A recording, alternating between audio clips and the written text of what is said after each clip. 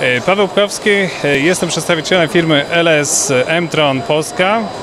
LS Mtron e, jest firmą córką koncernu LG, wszystkim doskonale znanego. Koncern produkuje wtryskarki od początku lat 70. E, W ofercie ma wtryskarki elektryczne, w pełni hydrauliczne, hybrydowe. To co tutaj widzimy to jest wtryskarka w pełni elektryczna o sile zwarcia 80 ton. W ofercie mamy wtryskarki elektryczne z, od 18 do 850 ton. Generalnie wtryskarki do 4000 ton, także praktycznie do każdych zastosowań e, znajdziemy, powinniśmy znaleźć e, jakąś, jakąś maszynę. Przedstawicielstwo firmy znajduje się we Wrocławiu. Za miesiąc otwieramy nową siedzibę. Zapraszamy do, do odwiedzenia naszych klientów południowe strony Wrocławia łatwo trafić tuż przy autostradzie.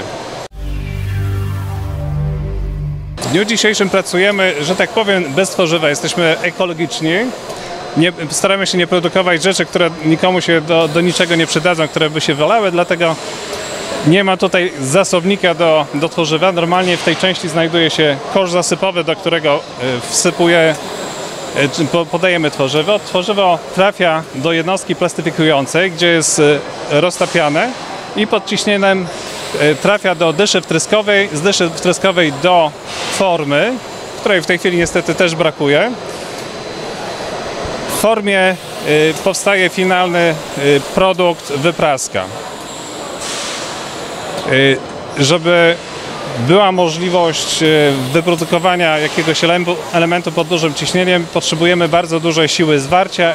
Ta część na końcu maszyny to jest, to jest tak zwana jednostka zaciskowa, która umożliwia dociśnięcie dwóch połówek formy do odpowiedniej siły e, liczonej w tonach. W przypadku tej maszyny 80 ton siła docisku jednej płyty do drugiej.